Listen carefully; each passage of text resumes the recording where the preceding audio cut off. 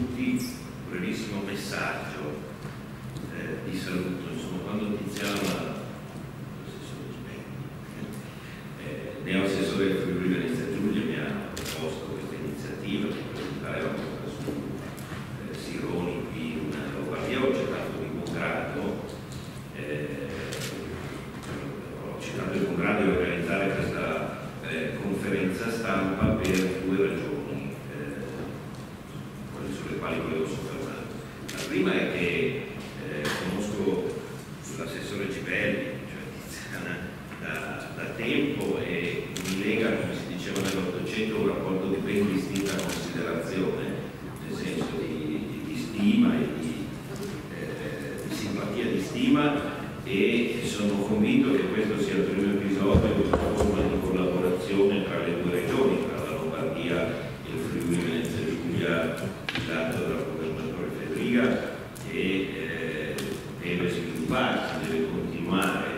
e,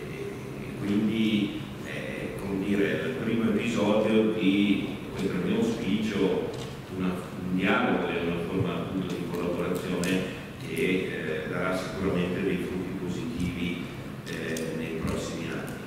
La seconda ragione per cui ho accettato di presentare questa,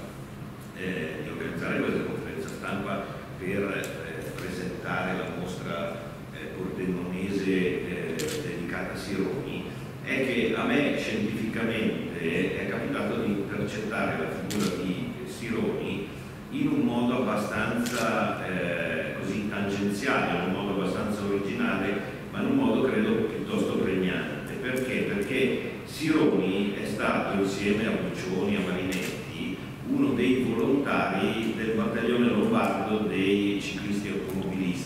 che ha combattuto sulle pendici del Monte Baldo. Il Monte Baldo è quella montagna che separa la Valle dell'Adige dal lago di Garda e sulle alture sopra Nago, che è la patria di un grande giurista dell'Ottocento, primi del Novecento, Scipio Sigele, ehm,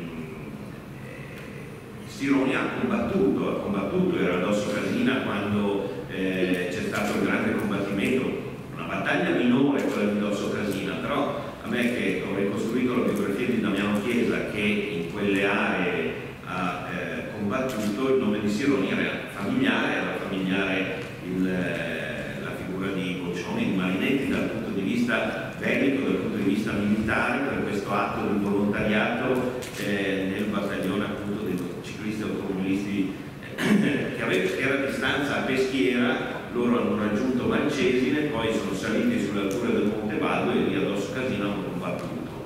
E se voi leggete i loro diari, la loro testimonianza di guerra, vi rendete conto di come sia stato decisivo il momento della guerra per eh, tenerli uniti, per instaurare delle forme di dialogo, di collaborazione. Insomma, sulle Figaro è nel 1909 che Marinetti pubblica il manifesto dei futuristi, ma fino a quel momento, fino a quei primi eh, anni della Prima Guerra Mondiale, tra di loro forme di dialogo, forme di condivisione dal punto di vista culturale e intellettuale non ci sono. Le trovano nella guerra, le trovano nella drammaticità della guerra, le trovano nella schizofrenia delle testimonianze dal punto di vista narrativo della guerra. E quindi credo che un momento molto particolare, molto decisivo per la vicenda biografica, intellettuale, culturale e artistica di Sironi sia proprio il momento della guerra e il fatto che questa mostra metta insieme eh, un decennio sostanzialmente, che è quello dal 13 al 24, è,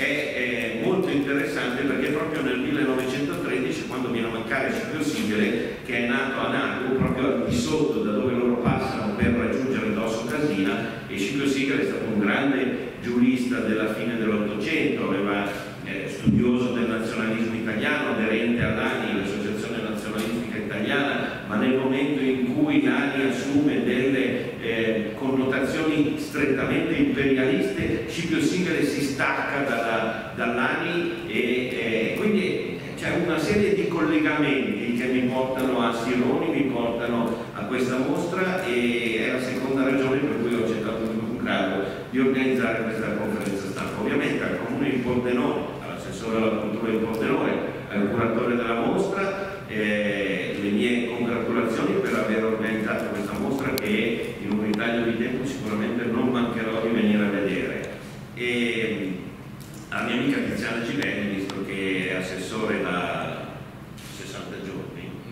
90,